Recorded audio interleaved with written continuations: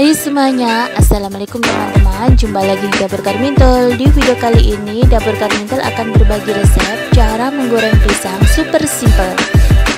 Ini pisang goreng sederhana Yang biasanya dijual di warung-warung.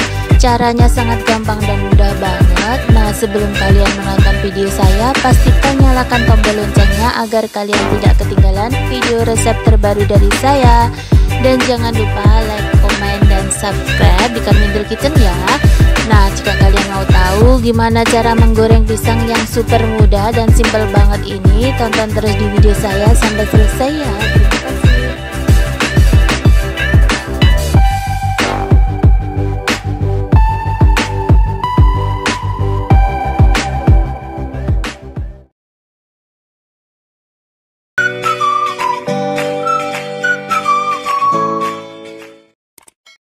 Langsung saja saya siapkan 4 buah pisang. Ini akan saya kupas dulu.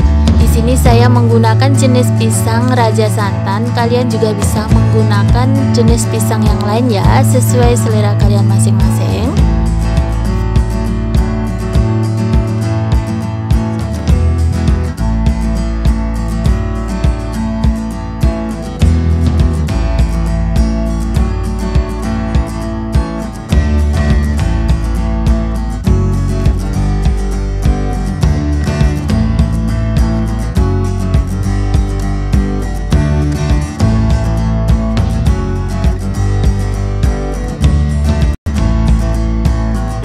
Setelah pisangnya saya kupas, ini akan saya belah menjadi dua.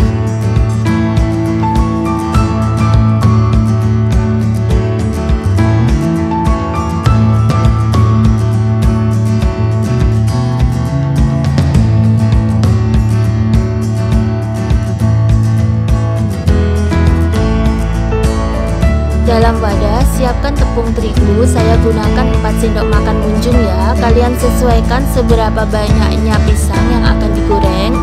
Jadi ini kita kira-kira saja seberapa tepungnya.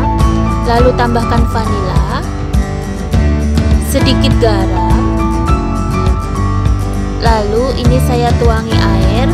Nah, untuk menuangkan airnya ini jangan langsung banyak ya. Kita kira-kira saja nanti adonannya akan saya buat kental kemudian diaduk biar tercampur rata dan menyatu. Jika kurang airnya bisa ditambahkan lagi.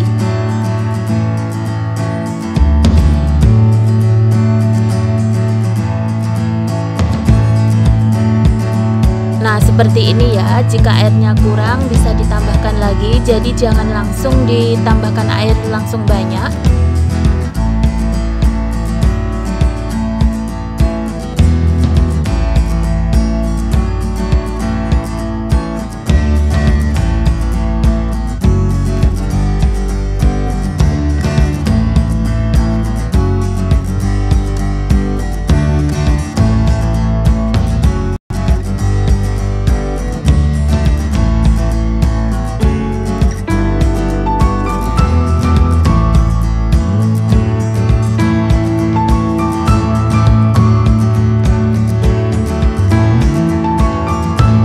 Kemudian di sini juga saya tambahkan sedikit soda kue.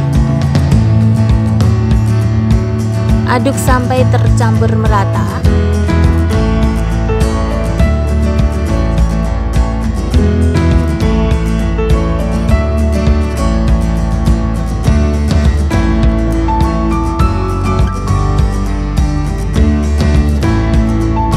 Nah adonannya kental seperti ini lalu diamkan kurang lebih sekitar satu jam baru pisangnya digoreng ya.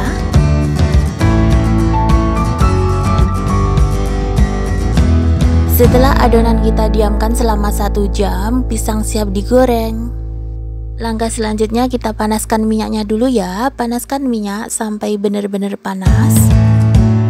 Jika minyaknya sudah panas celupkan pisang ke dalam adonan Lalu kita goreng ya.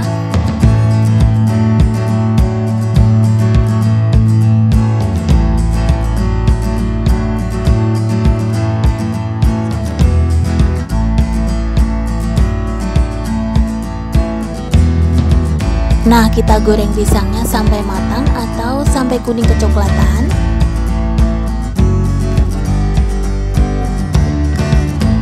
Menggoreng pisang seperti ini caranya sangat gampang dan mudah banget.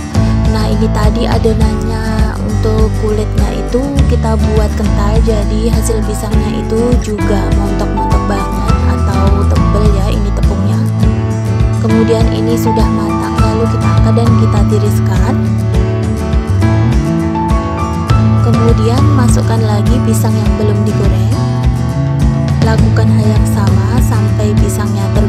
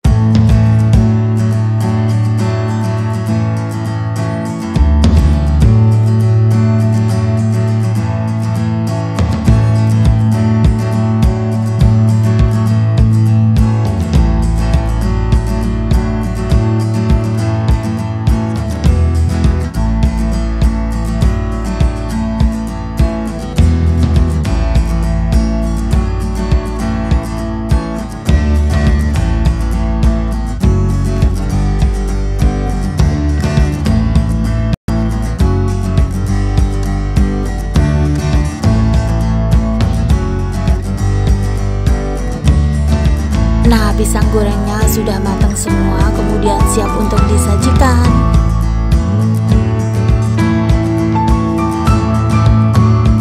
Nah, ini pisang goreng yang biasanya dijual di warung-warung. Cara membuat dan menggorengnya sangat gampang banget.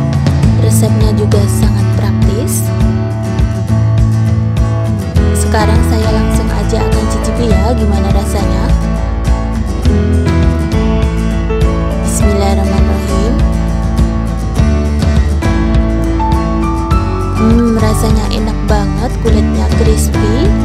Pisangnya manis dan kulitnya itu ada rasa vanilanya Sangat enak banget teman-teman Terima kasih teman-teman Semoga video saya ini bermanfaat untuk kalian semua Jangan lupa yang suka dengan video saya Like, komen, dan subscribe di Carmintel Kitchen ya Sampai berjumpa lagi di video saya selanjutnya. Selamat mencoba. Assalamualaikum warahmatullahi wabarakatuh.